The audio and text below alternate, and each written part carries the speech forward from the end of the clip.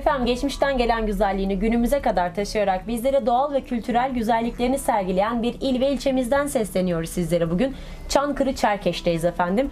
Minik çocuklarımıza çok güzel nadide satışlar gerçekleştirildiği bir giyim dükkanındayız. Kimdir Şenol Bey? Ben Şenol Serttaşı. Ee, yaklaşık e, 17 yıldan beri ticaretteyim. Ee, dükkanımızı 3 ay oldu açalı. Ee, burada böyle bir ihtiyaç vardı memleketimize.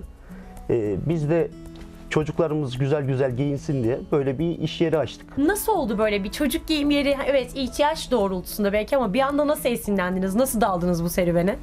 Valla biz e, eşimle birlikte e, yani çocuklarımıza burada çocuk mağazası olmadığı için dışarıdan alıyorduk.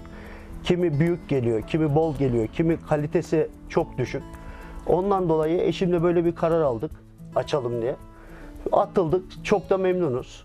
Çok İyi, güzel. Güzel. Peki kaç yaş grubuna hitap ediyoruz burada? 0-14 yaş arası. Burada e, kot, sivit, tight, e, altlı üstlü takım. Yani çocukların e, zıbınından tutun e, biberonuna kadar hepsi mevcut. E, bütçeye biraz uygun muyuz? Malum ekonomik şartlar günümüzde biraz çocukların kıyafetleri nedense genç kesimlerden daha pahalı Evet, oluyorlar. doğru söylüyorsun. Sizler peki burada her bütçeye hitap edebiliyor musunuz? Şimdi biz kaliteli satıp e, az bütçe e, vatandaşa vermek istiyoruz ama e, şimdi şöyle de bir şey var.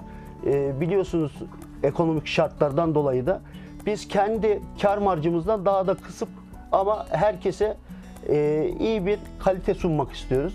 O şekilde. Peki kalite demişken ürünleri nerelerden temin ediyoruz ve kalite konusunda ne gibi kontrollerde geçiyor ürünlerimiz? Şimdi şöyle bizim zaten çalıştığımız 3 tane firma var. Bu 3 tane firmadan e, üçünden de biz şöyle bir e, güven aldık. E, çekmesi solması halinde e, biz müşteriden kendisinden kıyafeti geri alıyoruz. Şimdi şöyle bir şey var. Zaten e, müşterilerimiz bir sürü para veriyor bu kıyafete. Şimdi bir yıkayıp çektikten sonra da hiçbir kıymeti kalmıyor. Ondan dolayı da biz de kaliteli getiriyoruz. Müşteriye de bunun taahhütünü veriyoruz. Diyoruz ki çekme solma halinde ürün bizim diyoruz. Güzel bir kıyafet, iyi bir teminat mektubudur. Çok teşekkür ediyoruz efendim. Sözü aldık, sloganı aldık. Satışlar da burada efendim.